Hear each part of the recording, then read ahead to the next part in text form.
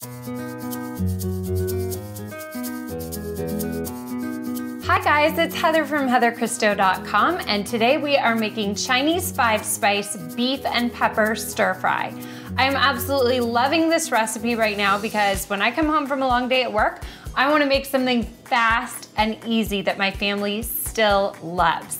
Butcher Box is actually making that especially easy for me because I show up after a long day at work and surprise, I have a magical box full of a bunch of meats that I selected that have been delivered right to my doorstep.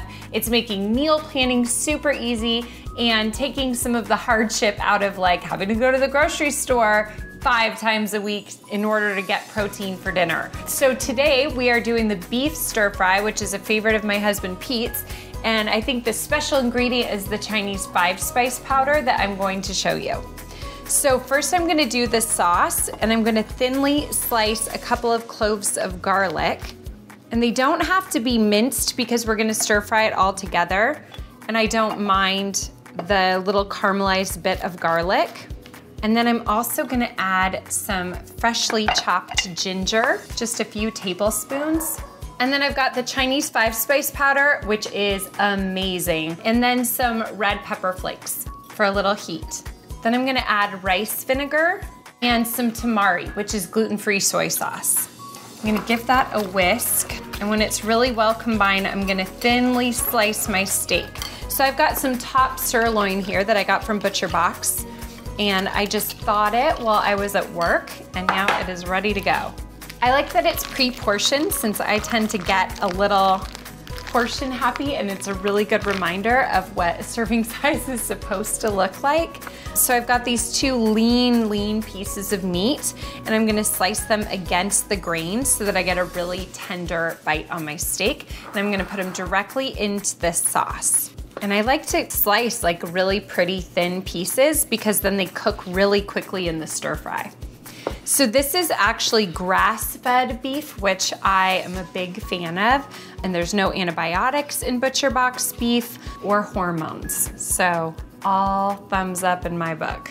Okay, so I'm gonna let this beef sit for a minute while I get this pan heated up. You'll also notice that I've got one yellow onion that's been chopped up and also I have two peppers that I just sliced into thin slices. And this is beef and pepper stir fry, but you could certainly swap out broccoli or bok choy or string beans. They would all be delicious.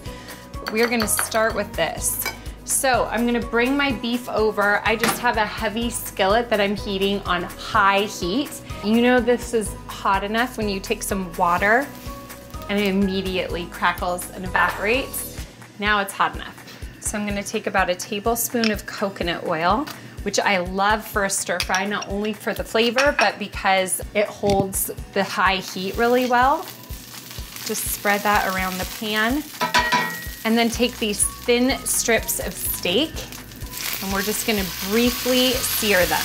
You don't wanna overcrowd the pan, so I just do half at a time. When they start to get brown on the edges, flip them. So you guys, because this steak is so thinly sliced and so lean, you really don't wanna cook it for very long. That was probably less than a minute with both sides combined because I don't want well done steak. I just want it to be like about medium in this recipe. Okay, so set that beef aside. Add just a little bit more coconut oil, and then you wanna add your vegetables. While those start to cook, I'm gonna take what's left of the sauce, which has a lot of the garlic and ginger, and instead of adding cornstarch, because I really try not to have cornstarch, I'm gonna add a little bit of potato flour. And this is one of those rare times we're not trying to cook these vegetables until they're totally tender. We actually want them to be somewhat crisp. So I really just like to do this for a minute or two.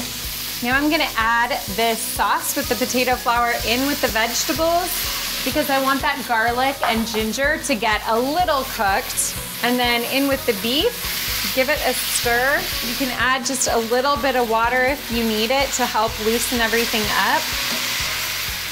Okay, I'm gonna load all of this into a bowl.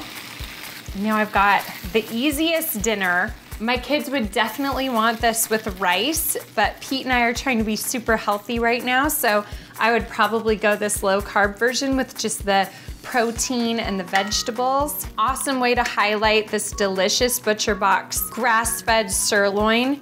Okay, I hope you enjoy this very tasty, easy dish. Better than calling for takeout definitely faster and more nutritious, so you'll feel great about feeding it to your family. Enjoy.